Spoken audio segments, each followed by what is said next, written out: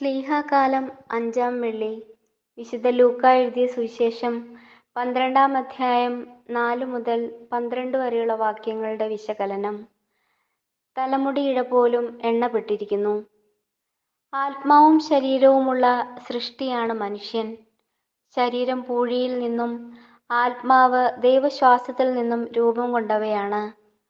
മരണത്തോടെ ശരീരം പൂഴിക്കും ആത്മാവ് ദൈവത്തിനും സ്വന്തമാകുന്നു.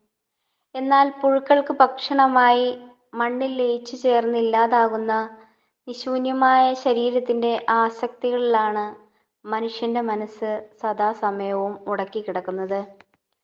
ലോകത്തിലെ സർവസമ്പത്തും എല്ലാ സ്ഥാനമാനങ്ങളും നേടിയ സമ്പന്നന്റെയും ലോകത്തിലെ ഏറ്റവും വലിയ ദരിദ്രന്റെയും മരണശേഷമുള്ള അവസ്ഥ ഒന്നു തന്നെയാണ്. നശ്വരമായ ഈ ജീവിതത്തിൽ സുഖസൗകര്യങ്ങൾ വർദ്ധിപ്പിക്കാൻ വേണ്ടി എന്തെല്ലാം തൽപ്പാടുകളാണ് മനുഷ്യൻ ചെയ്തു കൂട്ടുന്നത്?